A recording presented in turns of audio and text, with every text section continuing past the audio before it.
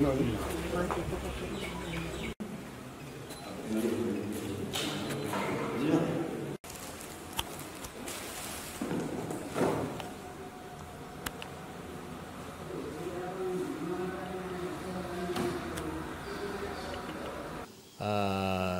ජන බලවේගේ අනුරාධපුර දිස්ත්‍රික්කයේ බටහිර ආසනයේ ප්‍රධාන සංවිධායකවරයා හැටියට ගරු විපක්ෂ නායක සජිත් ප්‍රේමදාස මැතිතුමා මාව පත් කරලා තියෙනවා.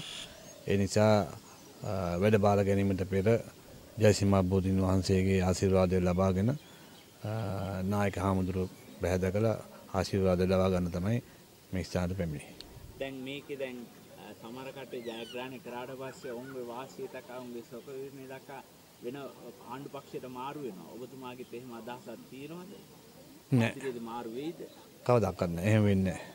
මොකද මම මේ දේශපාලනයේ එහාට මෙහාට මාරු වෙන්න මට අවශ්‍යතාවයක් නැහැ. මොකද මම ව්‍යාපාරිකයෙක් හැටියට මම හොඳ දුර ගමනක් ඇවිත් තියෙනවා.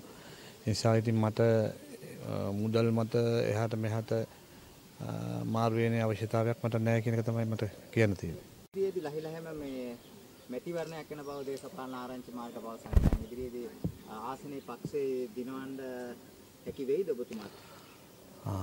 අනිවාර්යයෙන්ම අනුරාධපුර බටහිර ආසනයේ මම විශිෂ්ට ජයග්‍රහණයක් කරන්න මම කටයුතු කරනවා. ඒ වගේම අනුරාධපුර දිස්ත්‍රික්කයේ අපේ දිස්ත්‍රික් නායිකාව හැටියට චන්ද්‍රානි බණ්ඩාරගරු මැතිනිය සමග අපි අනුරාපේ විශාල ජයග්‍රහණයක් කරන්න අපි බලාපොරොත්තු වෙනවා.